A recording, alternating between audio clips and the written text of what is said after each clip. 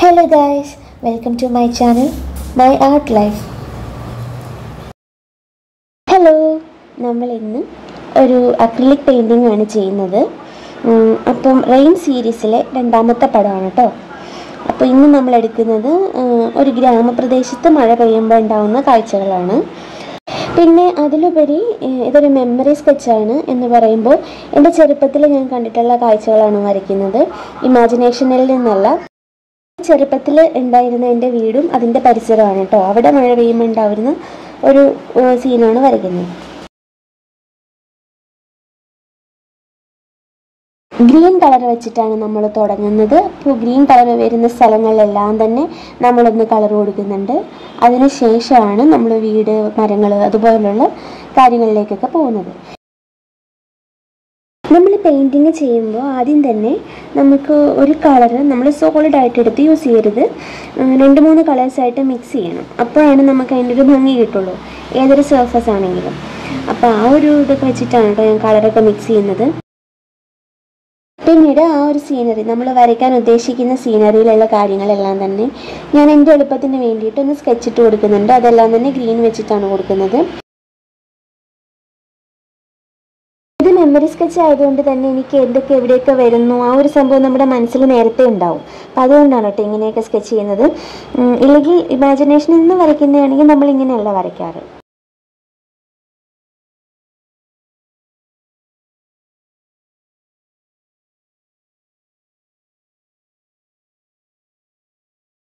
പിന്നീട് dark green വരുന്ന സ്ഥലങ്ങളിലൊക്കെ ഡാർക്ക് ഗ്രീൻ എടുത്തൊന്ന് മാർക്ക് ചെയ്യാണ്. പിന്നെ ലൈറ്റ് ഗ്രീൻ വരുന്ന സ്ഥലത്ത് ഞാൻ യെല്ലോ ആയിട്ട് മിക്സ് ചെയ്യുന്നുണ്ട്. അപ്പോൾ മറ്റൊരു ഗ്രീൻ നമുക്ക് കിട്ടും.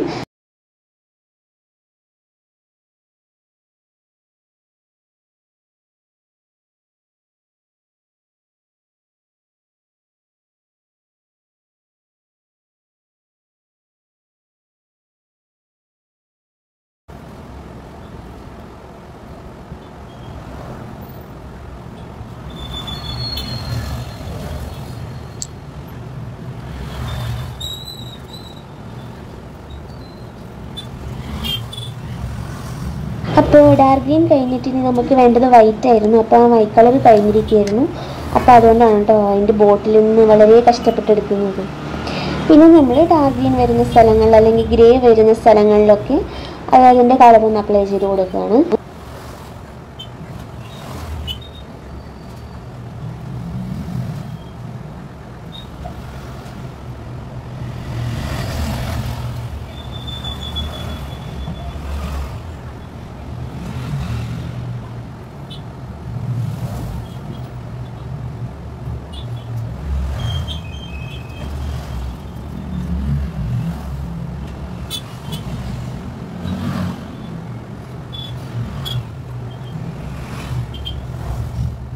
ഇപ്പോൾ നമ്മൾ വരയ്ക്കുന്നത് ഒരു മതിലാണ്. അതിന് കയ്യാല മാട്ട എന്നൊക്കെ പറയേണ്ട സ്ഥലത്ത്. അപ്പോൾ നമ്മൾ ഈ പറമ്പിൽ ഉണ്ടാവുന്ന സാധാ ഒരു മൺതിട്ട പോലത്തെ ഒരു സംഭവമാണ്. അത്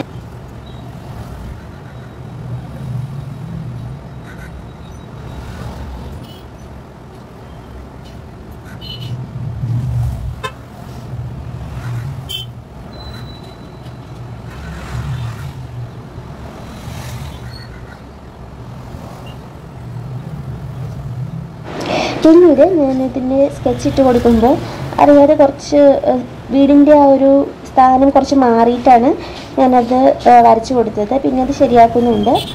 അപ്പോൾ അക്രിലിക് പെയിന്റ് ആയതുകൊണ്ട് പെട്ടെന്ന് ഡ്രൈ ആവും. അപ്പോൾ ഡ്രൈ ആയി കഴിഞ്ഞാൽ അതിന്റെ മേളിൽ നമുക്ക് വേറെ കളർ കൊടുത്തത് കറക്റ്റ് ചെയ്യാം. അത് ഉണങ്ങി കഴിയുമ്പോൾ അപ്പോൾ അതുകൊണ്ട് ഞാൻ അത് മിസ്റ്റേക്ക് സംഭവിച്ചതിൽ കാര്യമായിട്ട് കരുതുന്നില്ല.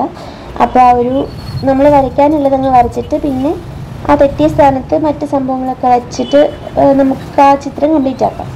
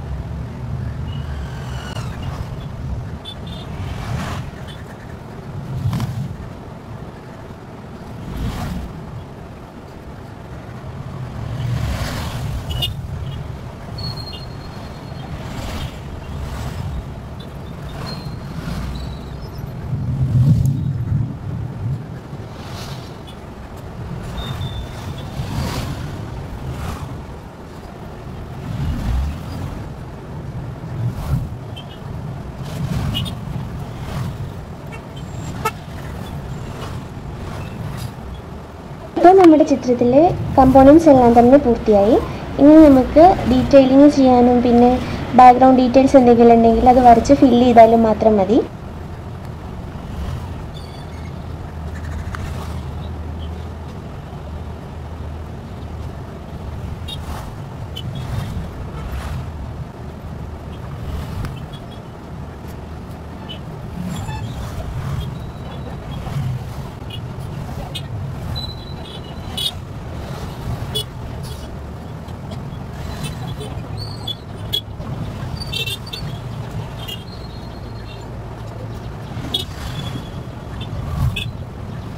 നമ്മൾ അതിന്റെ ചെറിയ ഡീറ്റെയിൽസും പിന്നെ ടെക്സ്ചറൊക്കെയാണ് വരച്ചു കൊടുക്കാൻ വേണ്ടി പോകുന്നത്.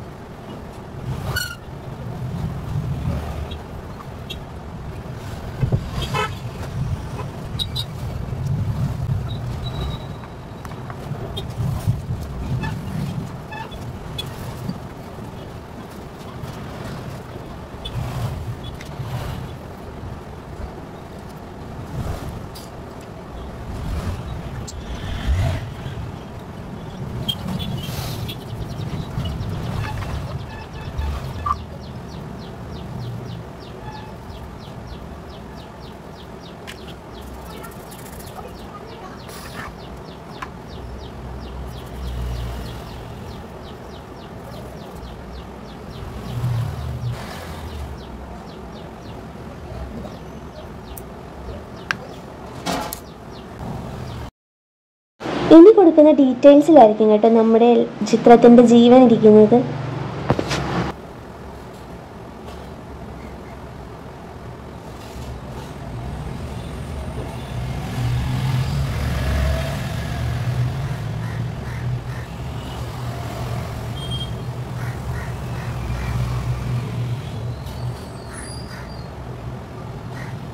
ഇപ്പോൾ നിങ്ങൾ വിചാരിക്കുന്നുണ്ടാവും നമ്മുടെ റെയിനി സീരീസ് അല്ലേ? അപ്പോൾ എന്തുകൊണ്ടാണ് നമ്മൾ റെയിൻ ഇതുവരെ വരയ്ക്കാത്തത്? അപ്പോൾ നമുക്ക് ചിത്രം ഫുള്ള് വരച്ചു കഴിഞ്ഞാലാണ് റെയിൻ വരയ്ക്കാൻ പറ്റുള്ളൂ. അതിന്റെ ഡീറ്റെയിൽസ് വരയ്ക്കാൻ പറ്റുള്ളൂ. അപ്പോൾ അതുകൊണ്ടാണ് കേട്ടോ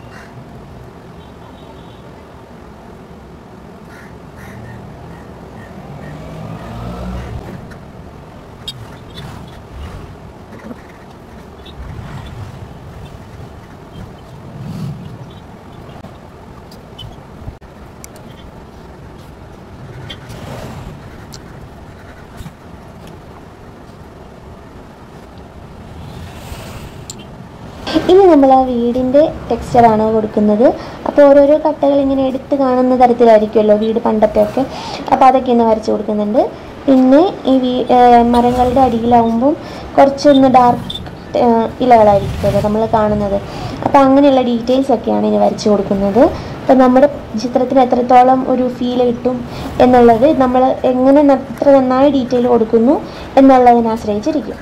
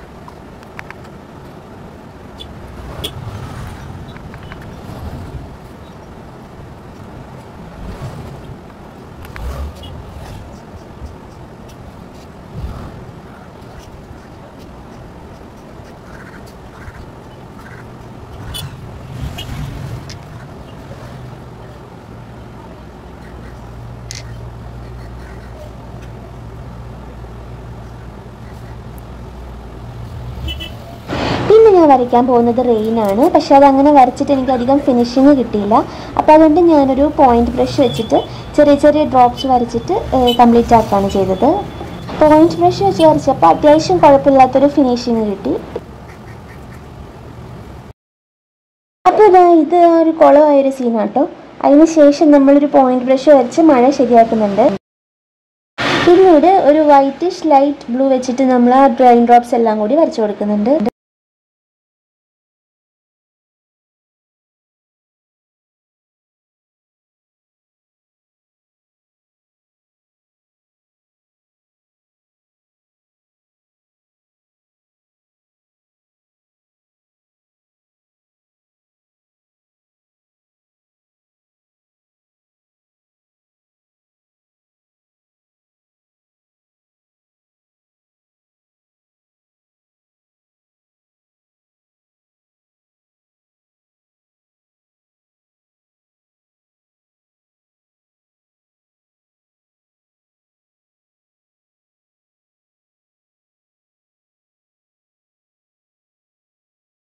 ഇപ്പോൾ നമ്മൾ ചെയ്യാൻ പോകുന്നത് ഒരു വലിയ ഫ്ലാറ്റ് ബ്രഷ് എടുത്തിട്ട് അതൊന്ന് സ്മജ് ചെയ്ത് കൊടുക്കുന്നത് പോലെ ഒന്ന് ചെയ്യുകയാണ് അപ്പോൾ ഇതിനകത്ത് ശരിക്കും ഒരു മഴയുടെ ഫീൽ കിട്ടി അതിനുശേഷം നമ്മൾ ചെറിയ ചെറിയ ഡീറ്റെയിൽസ് ഒക്കെ വരച്ചു കൊടുക്കുകയാണ് ചെയ്യുന്നത്.